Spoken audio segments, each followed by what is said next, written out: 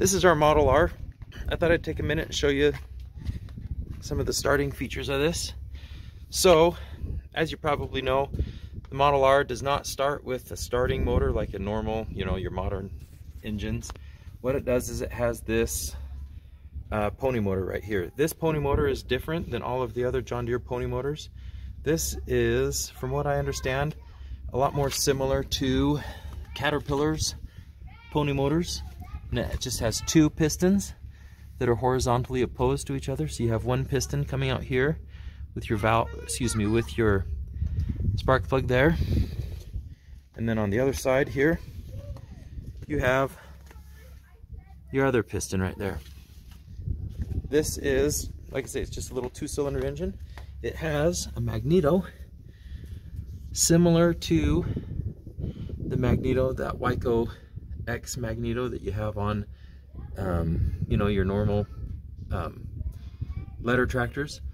But this has, the advance on this magneto is less. It's only 12 and a half degrees, I think, um, instead of 25 degrees. So this is your starting motor.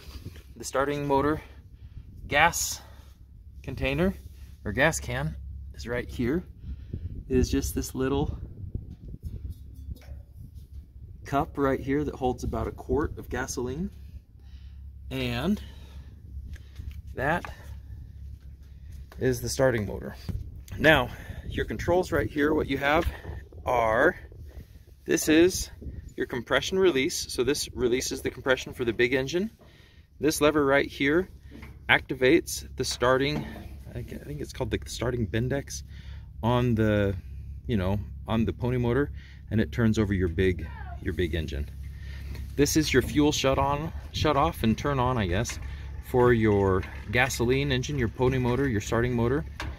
Um, this is the choke for your starting motor and this is the starting lever for your um, for your pony motor.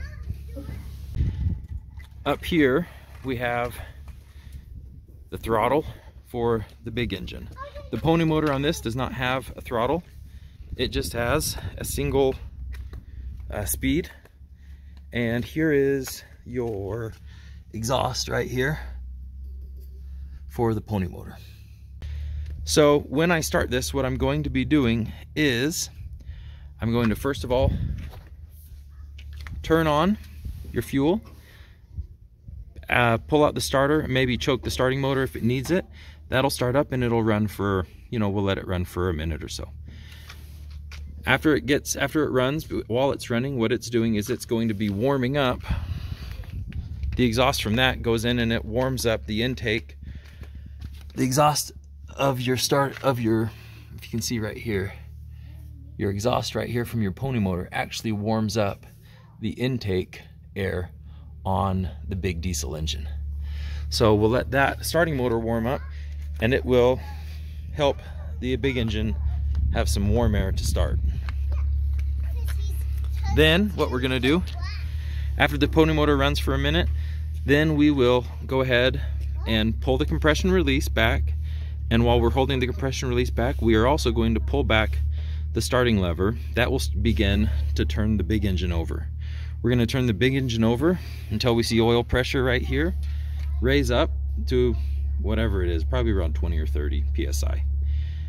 At that point, we can then re um, release the, the decompression lever, the compression release lever, and at that point, it will be starting, or it will be turning over the engine with full compression, however, there will not be any fuel because the throttle is still off.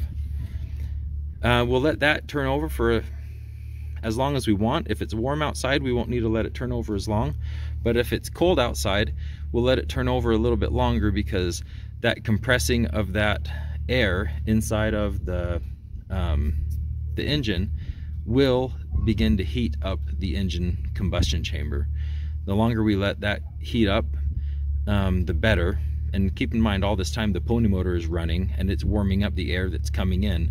So as long as we can get this diesel engine as warm as we can get this diesel engine that'll help it start. We have no glow plugs. We have nothing like that to help start to help warm the engine. So we'll let it turn over here a little bit and then when we want to start the diesel engine then we will give it throttle. We'll push that throttle forward. At that point, fuel is is allowed to enter um, the combustion chamber. The injectors are spraying the fuel in there at the right time, and then um, the big diesel engine should start up.